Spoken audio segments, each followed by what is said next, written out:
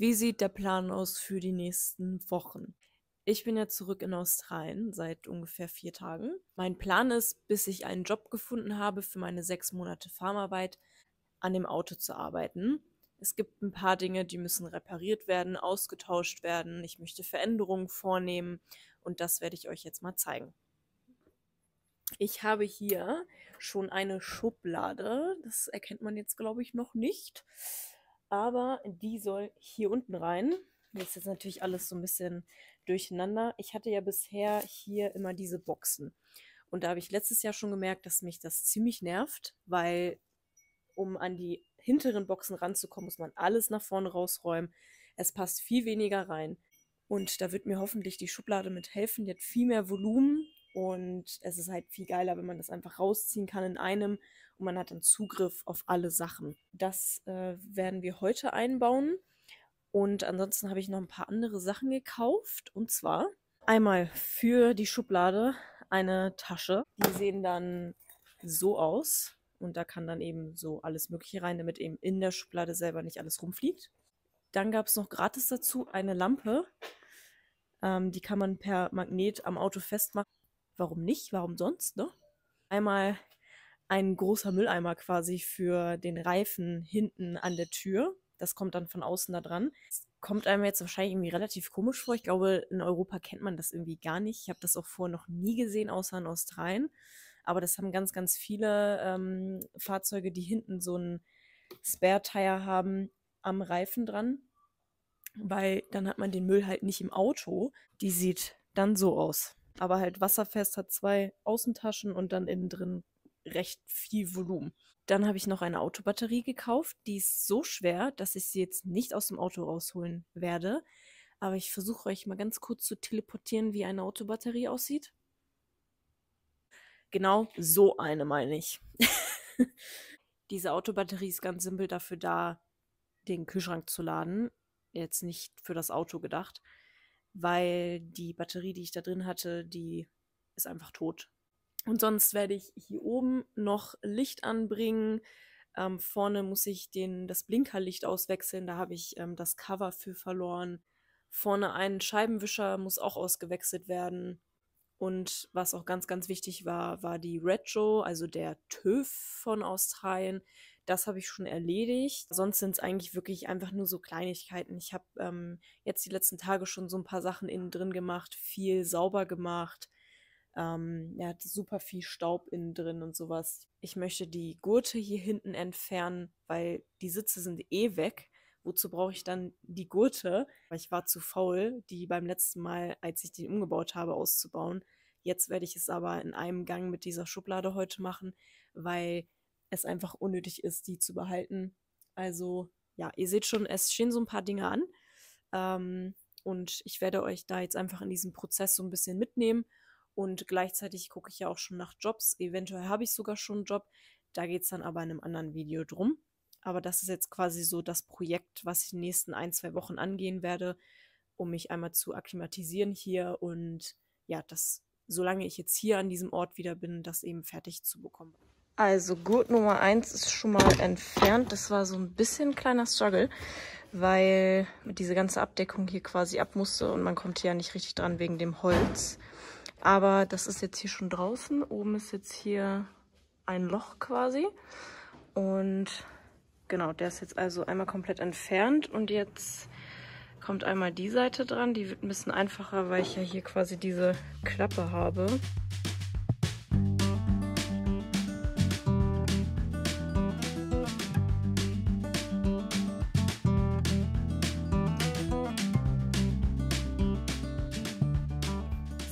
Schon ein bisschen Progress gemacht. Ihr seht, hier ist ganz schön viel los im Hintergrund. Da haben wir gerade die Abdeckung abgemacht, um die ganzen Kabel zu legen. Dann haben wir eben hier die Abdeckung abgemacht, um da auch die Kabel zu legen, um da oben die Lichter anzubringen. Und ein anderes Kabel haben wir jetzt gerade da durchgelegt für den USB-Port. Und da habe ich jetzt hier gerade ein Loch gebohrt zeige ich euch mal. Also mit der Maschine hier habe ich gerade diesen USB-Port da quasi angelegt, also das Loch vorgebohrt und ähm, genau, das ist die Abdeckung, die von dort an der Seite ist. Ist auch ganz schöne Fimmelarbeit immer, aber ja, es muss ja sein. Ja, und ich glaube, wir sind jetzt wahrscheinlich schon so zwei Stunden hier irgendwie am Rumtüddeln. Und ja, es sieht immer irgendwie nach gar nicht so viel aus, aber das dauert halt auch alles seine Zeit irgendwie. Mal gucken, wie weit wir jetzt heute kommen. Also Gutte sind raus, die Kabel sind gelegt, das Licht werden wir gleich anbringen.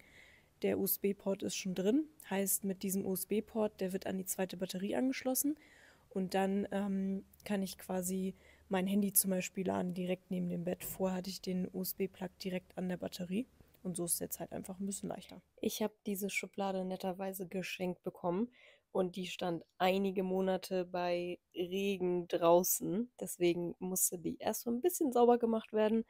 Und danach haben wir einmal geguckt, wie das Ganze im Auto reinpasst. Es war jetzt noch nicht festgeschraubt. Das hat aber alles super gepasst. Deswegen ging es dann weiter mit den nächsten Schritten. So, nächster Tag. Ihr seht, es ist alles hinten aus dem Auto draußen. Wir mussten jetzt eben hier an den Beinen noch ein bisschen was abschneiden. Also hier so dieses ganz kleine Stück, damit die Schublade halt hier drunter passt. Also das ist hier die zweite dahinter. Die haben wir auch abgesägt, kann man vielleicht ein bisschen sehen da. Ähm, weil sonst die Schublade halt hier nicht drunter gepasst hat. Und hier war vorher auch so ein Bein. Das ähm, kommt auch weg. Das haben wir schon abgesägt, damit auch die Schublade da drunter passt und das kriegt dann einen anderen Support hier auf der Seite.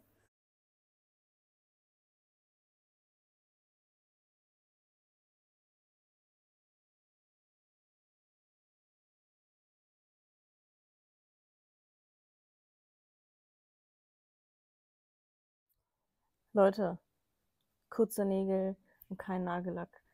Was könnte das bloß bedeuten? Ihr dürft kurz überlegen. Ich warte kurz. Ja, richtig. Ich arbeite wieder. Ich war heute wieder auf der Erdbeerfarm arbeiten, auf der ich ja letztes Jahr hier schon arbeiten war.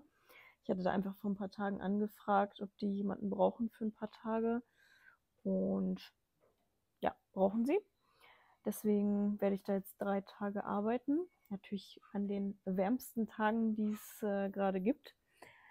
Und es war heute echt, ähm, das war schon echt ein bisschen anstrengend nicht zu krass warm, aber ich bin ja die Wärme gerade einfach überhaupt nicht mehr gewohnt und die Sonne vor allem nicht. Ähm, und ich habe auch keine Sonnencreme mitgenommen und auch keinen Hut. So ein richtiger Rookie-Farmwork-Fehler. Aber gut. Und jetzt habe ich gerade Mittag gegessen. So einen kleinen Wrap einfach. Hallo! ähm, ja, und brauche jetzt erstmal eine Pause. Das war, ja, es ist einfach so krass ungewohnt. Und sonst steht heute nicht mehr viel an. Ich glaube, es ist jetzt kurz nach drei oder so. Und ich gebe euch später nochmal ein Update zur anderen Arbeit. Also ich werde jetzt hier nicht bleiben, sondern weiterfahren, um meine Farmwork zu machen. Die kann ich ja hier im Ort nicht machen oder also hier in diesem ganzen Bereich nicht, weil, weil es hier nicht weit genug draußen ist. Ich bin ja hier ungefähr anderthalb Stunden von Sydney entfernt und das ist halt zu nah an der Stadt, damit das zählen könnte. Das äh, werde ich jetzt nicht weiter ausführen. Das ist mega kompliziert und komisch gemacht von der Regierung, aber whatever. Ich chille jetzt also noch ein bisschen kurz. Und, aber das Auto zeige ich euch auf jeden Fall nochmal. Da haben wir gestern noch dran gearbeitet. Ähm, die Schublade ist drin, der Kühlschrank ist drin. Der ist jetzt zwar noch nicht festgeschraubt, aber ähm, es ist alles an Ort und Stelle da, wo es am Ende auch dann bleiben soll. Und ja, ich äh, freue mich da mega drüber. Ich bin so glücklich über diese Schublade. Das ist voll bescheuert eigentlich, aber ja, ich freue mich sehr. Das zeige ich euch also, später. Ihr könnt schon sehen, es ist die Schublade drin daneben der Kühlschrank. Der war ja vorher schon an der gleichen Stelle. Den kennt ihr ja schon. Und ja, jetzt äh, das gute Stück, die Schublade. Tada! Es ist auf jeden Fall viel mehr Platz, als vorher war. Und ich werde jetzt gleich erstmal diese ganzen Sachen nochmal rausräumen. Die hätte ich gestern einfach nur so reingetan auf der Fahrt. Und werde dann die ganzen Boxen, die ich vorher da drin hatte, da hinten drin, die werde ich dann hier reinräumen. Außerdem hat man hier oben noch einmal wie so einen Tisch, den man rausziehen kann. Und das ist natürlich sehr geil so zum Kochen. Da kann man den Kocher oben drauf stellen und ja, dann entweder halt hier stehen oder halt hier und kann dann auch noch den Kühlschrank aufmachen. Natürlich äh, ganz schön Premium, würde ich jetzt mal sagen. Ja? Der Kühlschrank muss unten einmal noch an die Bodenplatte geschraubt werden, damit er sich auch nicht mehr bewegen kann. Also seitlich kann er sich nicht mehr bewegen, aber der rutscht bei der Fahrt dann halt teilweise noch so ein bisschen nach vorne. Ähm, also der muss auf jeden Fall noch festgemacht werden. Aber ansonsten halten sich die beiden quasi zusammen, weil hier ja die Räder drunter sind und die passen genau dazwischen rein. Also nach rechts und nach links bewegen die sich zum Glück nicht. Also diese ganzen Boxen sollen dann in die Schublade. Das heißt, wir dürfen uns jetzt von diesen Boxen verabschieden. Sie haben ihr Bestes getan, aber es ist Zeit zu gehen. Ich weiß, es ist immer schwierig, sich von Dingen zu verabschieden, aber wir gehen da gemeinsam durch und wir werden es schaffen, uns von diesen Boxen zu verabschieden, denn es kommt etwas Besseres auf uns zu. Ich glaube, ich werde jetzt erstmal den Zeitraffer anmachen, weil bis ich das alles sortiert habe, das wird jetzt ein bisschen dauern. Deswegen schmeiße ich euch mal den Zeitraffer an und ihr könnt mir dabei zugucken, wie ich das jetzt hier einsortiere und dann zeige ich es euch am Ende.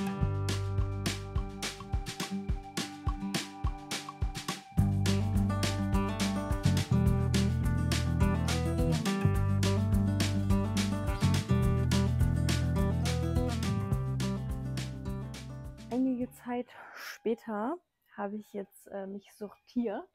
Also, wenn man die Schublade öffnet, dann sieht man erstmal Chaos. Nein, ich habe jetzt hier meinen Besteckkasten oben drauf. Ich räume das jetzt mal für euch hier nach und nach runter. Also Besteckkasten. Darunter ist mein Gaskocher. Der, dann habe ich hier einmal eine von den Taschen, wo so ein bisschen zum Kochen Gewürze, hier Alufolie und so weiter drin ist. Und dahinter ist einmal meine ganzen Tupperdosen, Schüsseln, noch ein Topf, Spüllappen, alles sowas, ein Messbecher, mein Schneidebrett. Solche Sachen, die sind dann ganz hier hinten drin und davor sind dann diese Sachen. Also alle Boxen, die ich vorher hier hinten unten drin hatte, die sind jetzt alle hier drin, wenn nicht sogar noch ein bisschen mehr und natürlich viel besser organisiert. Und daneben ist immer noch Platz. Da habe ich jetzt meine Yogamatte, so Wischwasser, Tüten etc. pp. drin. Und zur linken habe ich einmal meinen Stuhl hier reingetan, dann die Schaufel und die Axt. Die sitzen da jetzt ganz gut. Ja, ich bin wirklich sehr zufrieden damit. Ich glaube, wir müssen uns nichts vormachen. Man muss trotzdem noch super viel rumräumen und rausräumen, um an Dinge ranzukommen aber es ist doch viel besser organisiert als vorher und damit gebe ich mich doch schon sehr zufrieden. Ähm, und man kann die Schublade auch abschließen. Das heißt, wenn ich mal irgendwo weg bin, dann kann ich eben auch meine Sachen da drin einschließen. Und das ist natürlich gar nicht mal so doof. Ja, trotzdem, ich glaube, wenn man in einem Auto lebt, dann gehört immer dazu, dass man ganz viele Sachen immer ständig rumräumen muss weil es ist nun mal kein Van oder ein Wohnmobil. Es ist immer noch ein Auto und es gehört einfach dazu, dass man die Sachen immer jeden Tag hin und her räumt. Daran muss man sich einfach gewöhnen und es einem halt so angenehm machen wie möglich. Und das habe ich jetzt ähm, gemacht mit dieser Schublade. Und es sind ja auch noch ein paar andere Features eingezogen. Die zeige ich euch aber nicht heute, sondern die Tage ich mache jetzt erstmal Schluss für heute. Ich habe ähm, genug. Wir sehen uns die Tage. Ich gebe euch jetzt mal einen kleinen Rundown am Auto. Es ist alles fertig und ich bin auch schon ein paar Tage damit unterwegs. Und es hat sich auf jeden Fall alles bezahlt gemacht, die ganze Arbeit.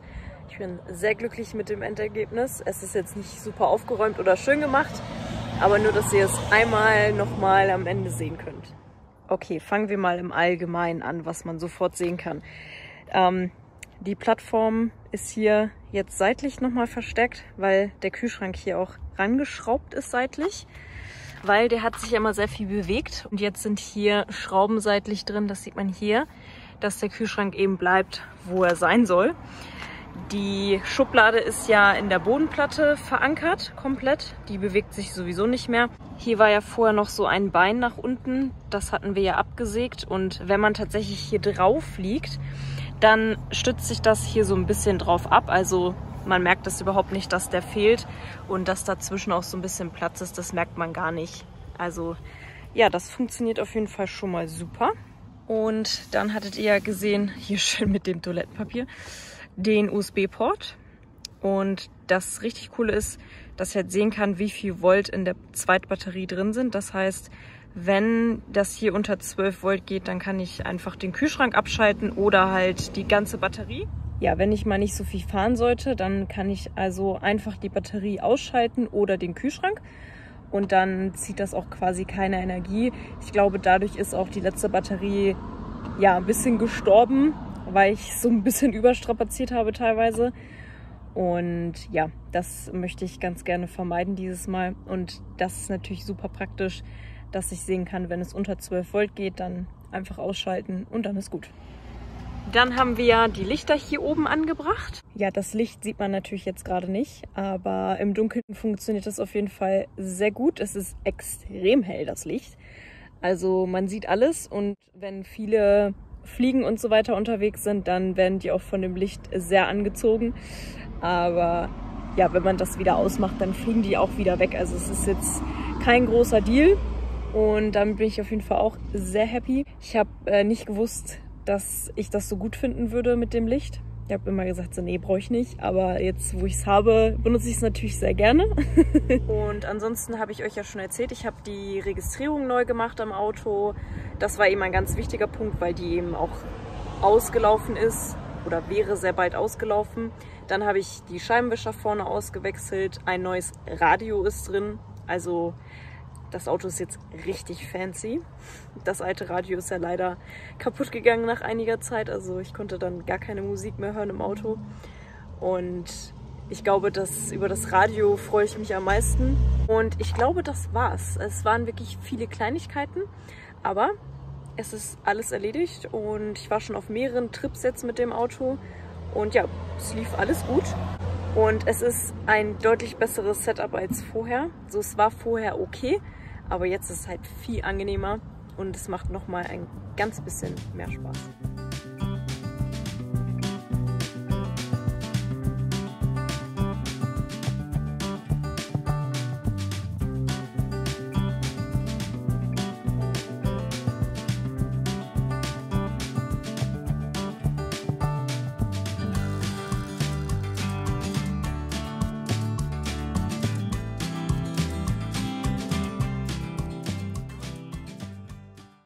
Da der Umbau ja dann fertig war, musste das Ganze einmal getestet werden. Hier am Stockton Beach in der Nähe von Newcastle ist ungefähr zweieinhalb Stunden von da entfernt, wo ich gewohnt habe. Und das sind 20 Kilometer weicher Sandstrand. Ich kann euch sagen, das ist ein Erlebnis. Es ist teilweise echt schwierig, da überhaupt zu fahren. Man versucht immer diesen Tracks zu folgen von den vorherigen Autos. Aber da sich alles total wild bewegt, ist das echt schwierig. Und ihr seht ja hier, wie hoch konzentriert ich gucke. Also es war schon sehr cool.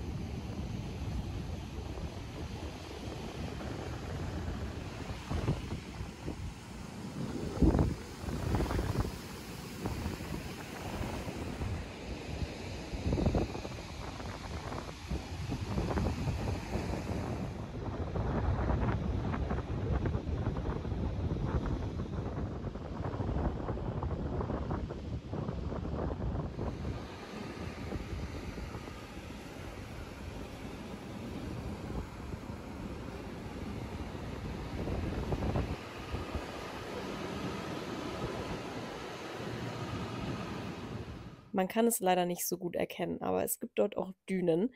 Und über die sind wir natürlich auch rübergefahren. Ich habe mich jetzt hier mal so ein bisschen rangetraut.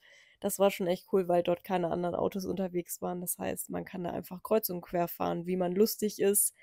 Alles in allem war das echt ein cooler Abschluss zu dem ganzen Umbau, der ungefähr anderthalb Wochen gedauert hat. Und ich würde sagen, wir sehen uns im nächsten Video. In dem Video geht es darum, warum und wieso ich nach Tasmanien fahre. Also wir sehen uns dann da. Vielen Dank fürs Einschalten. Bis zum nächsten Mal.